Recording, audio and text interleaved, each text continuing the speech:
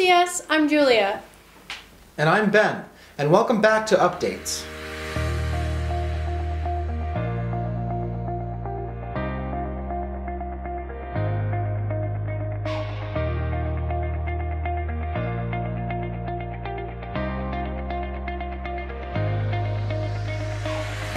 We hope that all the 10th graders that went to Belgium on Friday had a great trip. Well done to all the basketball and swim teams that traveled to Brussels to compete over the weekend. Welcome back to the MUN team who had a fantastic trip to The Hague last week. Tuesday evening at 7 p.m. there will be a high school choral concert in the theater. Come along and support your friends. On Wednesday, we will be taking a short, anonymous well-being survey and advisory to help the school get a better idea of how they can help improve ACS. At 6.30 p.m. on Wednesday in the ILC there is a meeting for 9th grade parents to discuss upcoming course selection, so make sure you check that out. If you've all been anxious to know your grades and GPAs, Power School will be reopened on Wednesday in preparation for parent-teacher conferences. We have Thursday and Friday off so that conferences can occur. Take these two days to relax and sleep in. Most teachers, however, recommend you go with your parents as it may be useful to talk with your teachers about your progress. There's an open day on Saturday, and the school is always looking for people to help out and give campus tours from 9 a.m. until 12.30. If you are interested in helping out, please email Miss Coleman with your name and grade. AP exams are being ordered in the next few weeks. If you are taking an AP course, you should have been sent an email including how much you owe. These fees can be paid through parent pay. If you are self-studying an AP course, it is important that you see Mrs. Fitzpatrick in the Dean's office so she can make sure that your exam is ordered. The deadline for senior yearbook messages is the 16th, so make sure you get them in. Please see Mr. Roberts in the Media Lab if you have any questions or concerns. The IT department have asked us to inform you students about internet safety. This Tuesday is Internet Safety Day.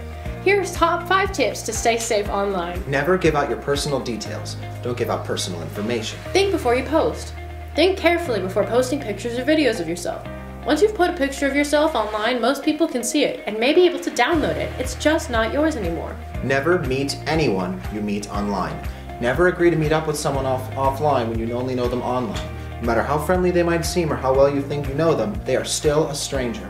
Be a digital citizen. Be a good digital citizen. Use text, images, and videos to make a positive impact, and think carefully about the impact on others before you share something online.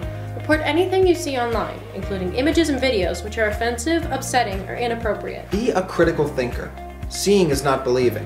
When you see something online, take a moment to see the full picture. Not everything or everyone online can be trusted. We are now sponsoring the 2018 Namibia team. Each week we'll provide a fact for you from the team itself. This week's fact Namibia is the second least densely populated country in the world with only 2.6 people per square kilometer. ACS, welcome to our new movie segment. Each week we'll be discussing a different movie along with some fun facts about the production. This week's movie is The Greatest Showman. I'm sure you've all heard about it by now.